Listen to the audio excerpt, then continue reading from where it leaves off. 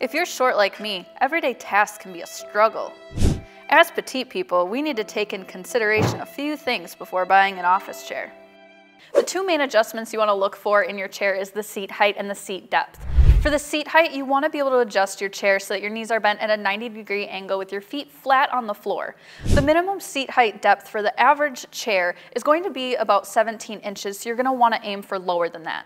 For the seat depth adjustment, while you're sitting all the way back in your chair, you want to adjust the seat so that there's a one to two inch gap minimum from the front edge of the seat to the back of your knees. Aim to find a chair that has a seat depth of 16 inches or less.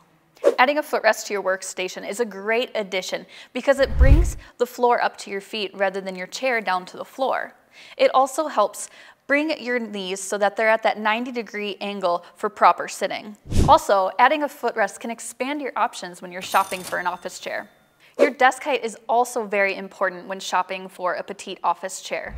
You want your typing height to be 8 inches above the seat height. So therefore, if you have a chair that sits at 16 inches, you're gonna want your desk to sit at 24 inches. And with the standard desk being 30 inches, you can tell that there's a big difference in that range. Having an adjustable sit-stand desk is a great option to help bring your desk to the height that you need. If you just have a standard desk, some great ways to bring yourself up to that desk height is by adding a footrest or a keyboard tray. Another thing to consider is the arm height and the width. You're going to want to sit with your arms rested comfortably at your sides and elbows bent at a 90 degree angle.